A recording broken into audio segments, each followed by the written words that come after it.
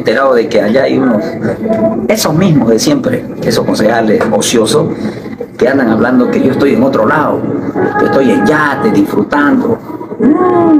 Le pelaron, le pelaron. Cada vez mienten y mienten estos chicos. La verdad es que da pena tener autoridades de esta calaña. Realmente da pena. Yo estoy acá en Miami, vine por unos asuntos personales, otros asuntos de negocio y también vine a hacer un chequeito médico porque siempre es bueno. Así que le pelaron, están equivocados.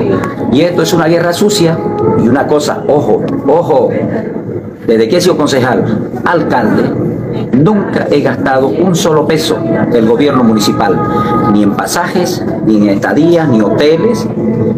En Santa Cruz tengo mis dos vagonetas que no son de la alcaldía, son particulares, no pido gasolina, no hay mantenimiento, así que le pelaron.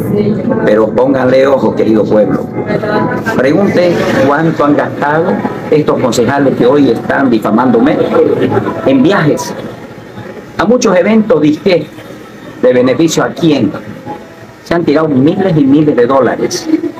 Eso más bien, ¿por qué no aclaran al pueblo? Le pelaron otra vez. si sos de aquellos que se levantan antes que el sol, de los que inventan el tiempo para seguir adelante, de esos que se quedan cuando todos los demás se van, de aquellos que saben formarse no tiene edad y sabes que podés superarte mucho más, entonces esta beca es para vos. Becas Crece con nosotros.